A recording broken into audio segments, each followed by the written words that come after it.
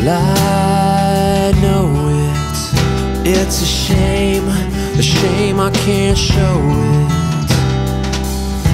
And I see it, I can see it now, but I'm so far below it. Don't wanna, don't wanna talk about it. I say, why not? Don't wanna think about it.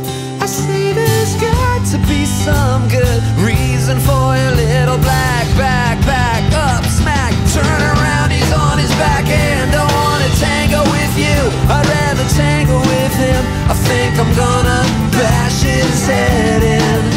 And this shouldn't concern you, except that just don't expect to get your bloody black back, back, back.